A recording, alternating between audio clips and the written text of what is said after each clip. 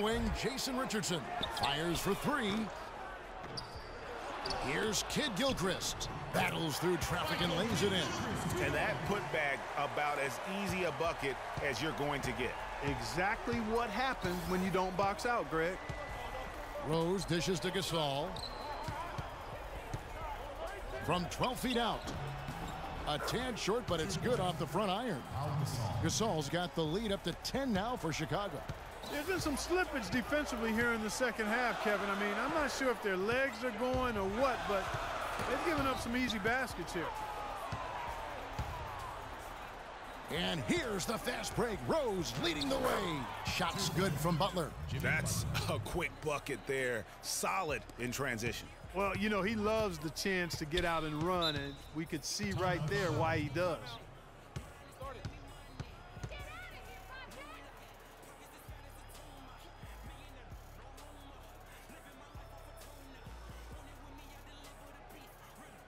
Ladies and gentlemen, your Hornets dance team.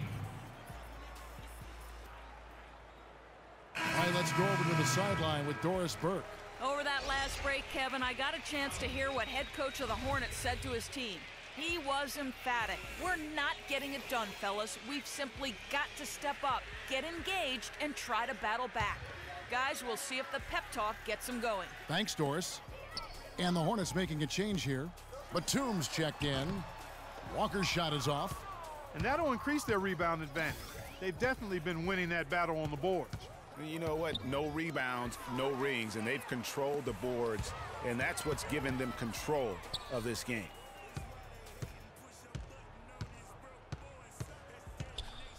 Back to Jefferson. Shot from 12. And once again off the mark by Charlotte. Rose passes to Freak. And he was fouled on the way up. Two free throws now for him. Some good numbers for Freak. He has 12 points, and he's getting it done on the glass, too. You're right, Clark. He's done some real nice work on the inside. Let's tighten up, all right? Let's get a stop on this one. And both free throws good from Freak. And that's another area where he is just a superb player. Excellent at the free throw line. Clark, some tough offensive sets. They want to turn it around. Yeah, they need a basket just to regain some momentum here, Kevin. And Walker kicks to Jefferson. With the shot. Oh, and that one had the right spin on it, and it is good. Jefferson's got four this quarter. Well executed possession. They controlled the shot. Nicely done.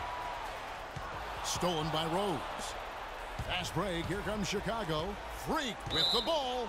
And that's out of bounds. Chicago will retain possession. You can tell that pass just hung in the air for a long time. Yeah, exactly. Long enough for him to get a hand on it and knock it out of play. Here's Freak.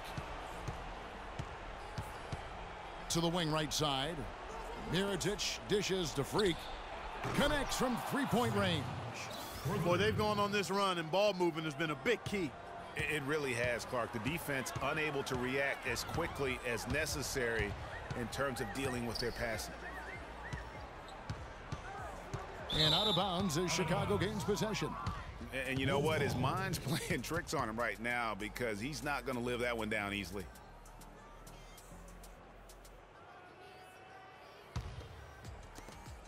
One thirty-one left to play here in the fourth. And, and, so just rolling to the finish line now in what has been a very confident looking performance for the Bulls. Clark, look at their number of assists. Well, they minimized the one-on-one -on -one situations, Kevin. They got the ball moving, and it found the open guy. Great ball movement, you're right. And for the year now, they'll ramp up their win total to an even 40. They were really smart in the use of that game plan tonight. Used it in their first two games against this team, which equaled to two wins. Greg, if it ain't broke, why fix it? I mean, why change anything? Knowing how well they played in those two games, they probably couldn't wait for this one to wrap up the sweep of the season series. Just a quality win, and, and you look at the box score and some really good numbers for Freak.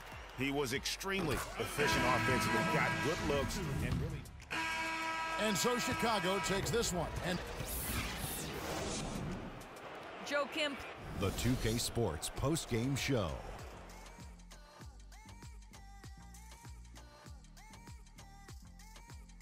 Ernie Johnson here again with Shaquille O'Neal and Kenny Smith. Without further ado, let's present to you our Jordan player of the game, Freak.